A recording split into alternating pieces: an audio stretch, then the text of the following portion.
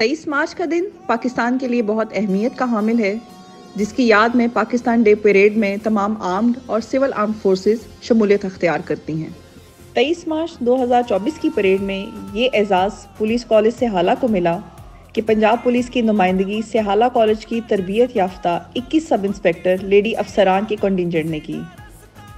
जिनकी क़्यादत trainee sub inspector Saida Arif Zahra ने की जो कि एट्थ प्रोबेशनर टीएसआई कोर्स की ऑल राउंड फ़र्स्ट ऑफिसर भी हैं।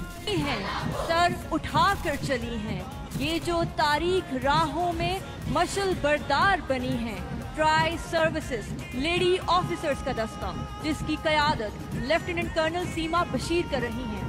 तीनों मुसल्ला फाज की नुमाइंदगी captain Ayesha Parvez lieutenant commander Nazia Naeem और GD pilot squadron leader Fatima Ali AFNS की नुमाइंदगी lieutenant Salma Abbasi, lieutenant commander Abida Parveen, squadron leader Umaira Sabeen जबकि sub inspector Punjab rangers, sub inspector Syed Areej Zahra Punjab police, assistant director Sunila ASF और assistant director Amber Mumtaz ANF की नुमाइंदगी कर रही हैं। तेईस मार्च की parade में शमूलियत, इन अफसरान के लिए न सिर्फ़ एक यादगार और once in a lifetime experience था, बल्कि पाकिस्तान की तमाम फोर्सेस के साथ सोशल नेटवर्किंग और रबतों का सुनहरी मौका भी। इन सबने एक दूसरे के काम और मुश्किल को भी समझा। कमांडान पुलिस कॉलेज से हाला, इशफाक अहमद ख़ान ने इन अफसरान के एजाज़ में एक पुरवकार इफ्तार डिनर का अहतमाम किया, जिसमें तमाम लेडी अफसरान और कोऑर्डिनेटर्स को कमेंडेशन सर्टिफिकेट्स और कैश अवार्ड दिए गए और इनकी अनथक मेहनत, डेडिकेशन और बुलंद हौसलों को सराहा गया। तेईस मार्च की परेड एक नेशनल लेवल परेड होती है इसमें हिस्सा लेना और चांस मिलना टू पार्टिसिपेट इट सेल्फ एक बहुत बड़ा honour I was blessed enough to have that honour through से आला सर अरीन सारा जेर तरबियत सब इंस्पेक्टर पुलिस कॉलेज से आती सर मैंने 23 मार्च की परेड में पंजाब पुलिस को as a sword women represent किया. और सर ये सफ़र हमारे लिए बहुत यादगार और थोड़ा कठिन भी था। हमें चैलेंजेस का सामना हुआ अप्स एंड डाउन आए।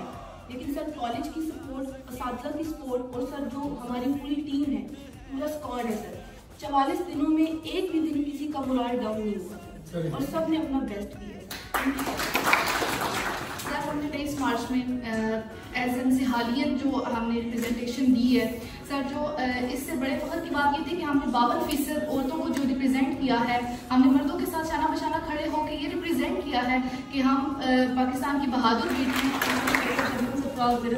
सब इंस्पेक्टर पुलिस वाले से अलग सर, सबसे पहले ये कि मुझे तेईस मार्च की परेड में शामिल होकर बहुत खुशी हुई। मेरे जो पेरेंट थे, मेरे अबू जो थे, वो भी आर्मी से थे। तो उन्होंने जो है वो भी तेईस मार्च की परेड में हिस्सा लिया था। तो जब मेरा नाम इसमें सेलेक्ट हुआ तो मेरे को बहुत ज़्यादा खुशी हुई है कि मेरी बेटी अब मेरी जगह पर रिप्रेजेंट करेगी। तो असमा कंवल सब इंस्पेक्टर पुलिस कॉलेज से आना। सर ट्वेंटी थर्ड मार्च की परेड में शिरकत में मैं दो बातों को हाईलाइट करूँगी। फ़र्स्ट ऑफ़ ऑल ये कि जो टीवी पर हमें नज़र आता था कि एक वेल डिसिप्लिन फौज नज़र आती है वो उसका अमली मुजाहरा और वो कैसे नज़र आती है? और कितनी वो मुश्किल से गुजर कर एंड पर जब वो डिसिप्लिन वेल डिसिप्लिन नज़र आती है, वो कैसे होती है वो हमने यहाँ पर सीखा। असलम सादिया असलम ज़रिए तरबियत सब इंस्पेक्टर पुलिस कॉलेज से हाल सबसे पहले मैं पंजाब पुलिस डिपार्टमेंट और इसके बाद पुलिस कॉलेज से हालाँकि मशहूर हूँ। इन्होंने मुझे कौमी सतह पर होने वाली तेईस मार्च परेड में शिरकत का मौका दिया।